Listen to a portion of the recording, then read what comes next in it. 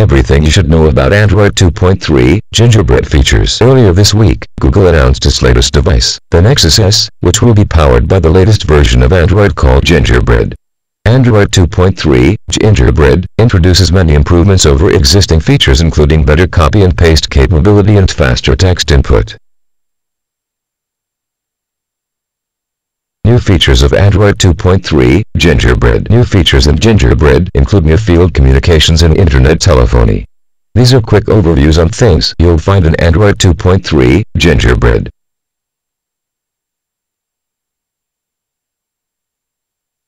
Near-field communications. The new OS provides support for reading NFC tags and can give us a big implication.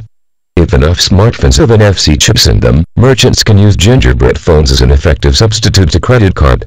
In general, near-field communications allow you to use your smartphone as a payment device.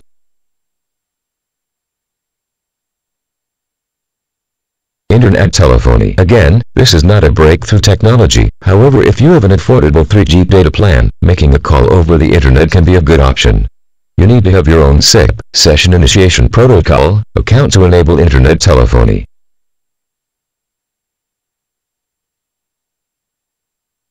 Cleaner Google promises that the new simplified it will make Android easier to learn and faster to use. Google has incorporated changes to visual themes while also tweaking menus to make them easier to navigate. Task Manager, a basic tool that should have been available since Android 1.6, it allows you to monitor the activity of all running applications and finding out how many memory each app uses.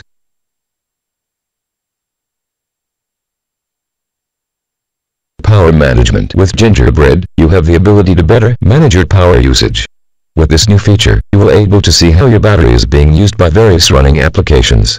For example, you will know how the cool matrix screensaver really sucks up all your battery juice.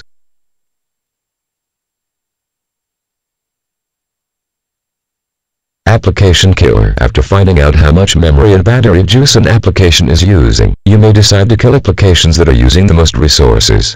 You can do this easily in the Manage Application shortcut. Better copy and paste capability. The new copy and paste tool is somewhat similar to the one found in Apple's iOS.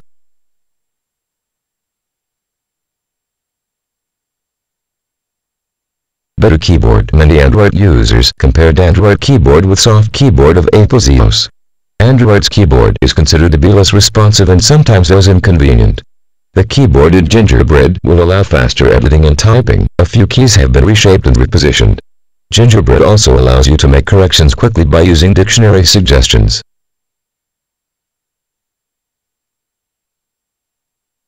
Downloads Management You can now access an integrated downloads management from your email, browser, or other applications.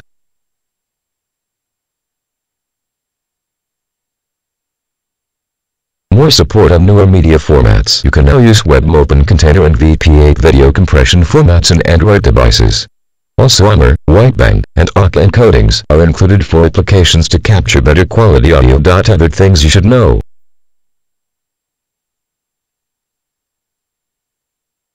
Gaming and Gingerbread As we have seen in the Gingerbread's official introduction video, the new version provides a host of new features designed to help developers build state-of-the-art gaming of the Android platform.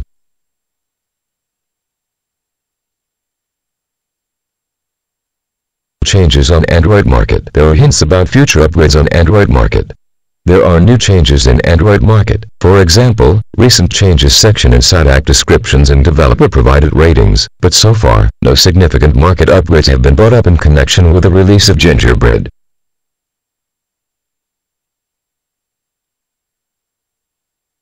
When will you get the update?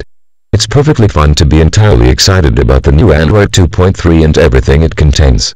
Obviously, current owners of Android devices are wondering whether they can get an update. Yes, owners of the Nexus S are the first to use Android 2.3, which will be available in the US on December 16th and December 20th in the UK. Everyone else will have to wait to know whether it is possible to get an update. Why? Google deliberately backs away after releasing a certain version Android software kits. After that, it is up to the cell phone manufacturer to decide which devices it wants to upgrade.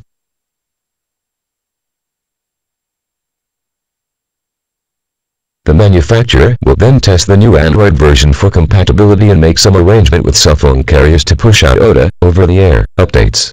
Manufacturers that tend to add enhancements and modification on the existing Android platform like Samsung, Motorola, and HTC also add another layer of complexity which can delay or even prevent OS updates as engineers need to tailor and test new codes. Nexus One used a stock version of Android 2.1, Eclair, and now it is upgradable to Android 2.2, Froyo. Consequently, Nexus One owners have a better chance of getting a gingerbread update. Owners of other Android devices may need to twiddle their thumbs for months or even forever for the first OTA updates.